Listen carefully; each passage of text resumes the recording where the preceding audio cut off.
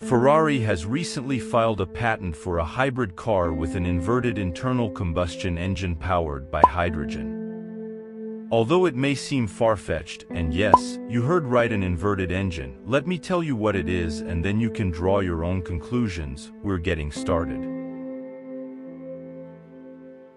At first glance, it may seem puzzling that Ferrari would go for an upside-down engine design, especially when it comes to a hybrid system that uses hydrogen as fuel. However, the key behind this choice lies in the proposed layout of the fuel tanks. Imagine four tanks, each capable of storing more than 10,000 psi of hydrogen gas. If you want to know more about hydrogen engines, we already made a video where we talked about them in depth, I leave it in the description, let's continue with the video. Two of these tanks, spherical in shape, would be strategically placed on either side of the engine, while the other two, cylindrical, would be located on top of the engine, with one of them extending forward, just in front of the rear wheels.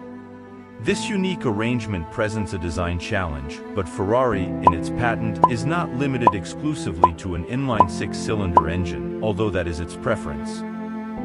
Most interestingly, the proposed vehicle would be a hybrid with an electric motor driving the front wheels. Considering that it would be inverted, the question arises as to why there are no reverse engines, so let's talk a little about this, and if you have other ideas comment them down here. Well, and the reason is simpler than we think and that is gravity, but wait don't get ahead of yourself. Unlike fuel injection, which is not significantly affected by engine position, lubrication is a major challenge in this type of configuration. In a conventional engine with wet sump lubrication, gravity helps drain the oil into the crankcase and oil pump, making it easier to circulate.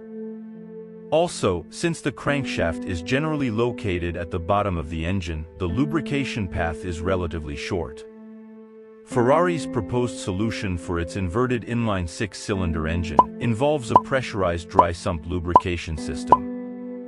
This system uses three pumps, one to pressurize the feed side, located on one side of the block, and two for the recovery side, located on the other side of the block.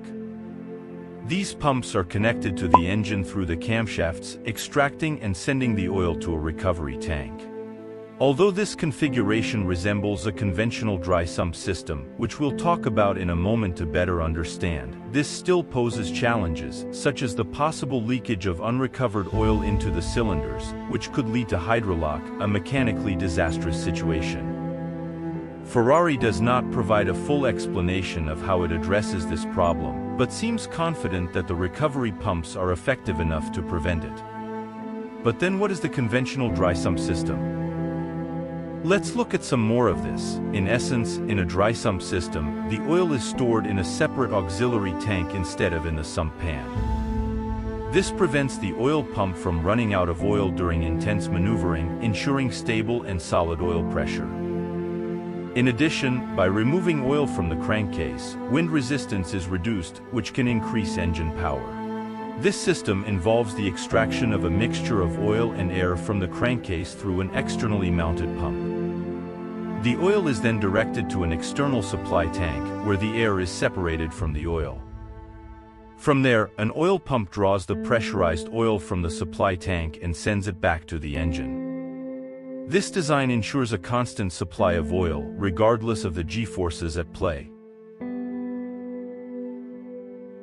Continuing with the patent, there are also two surprising concepts related to the transmission and turbochargers. First, the transmission is a 7-speed dual-clutch gearbox, which, although inverted, is still fairly conventional. What is unconventional, however, is that the dual-clutch assembly is not coupled to the engine. Instead, the input shaft is connected directly to the crankshaft. Why this peculiar design?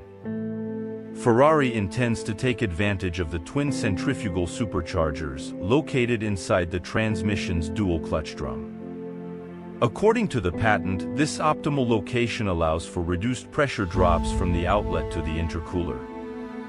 These superchargers would share a common gearbox shaft, driving them up to 100,000 RPM, while the common shaft would rotate up to 10,000 RPM. Even the possibility of connecting an electric motor to these superchargers to generate power, increase boost and even control it is contemplated. But that's not all, the patent also presents an alternative proposal for a turbocharged version with divorced turbines and compressors. In this case, they are not separated by an engine in the middle, but literally split with only an electrical connection linking them. The turbines would have a generator connected, and the power generated would be sent to a battery for storage, then used to drive the compressors connected to a single engine. Yes, it needs to sink in again. The compressors drive a generator which, in turn, supplies electrical power to the motor to start the compressors. Do you think this might see the light of day? Comment below.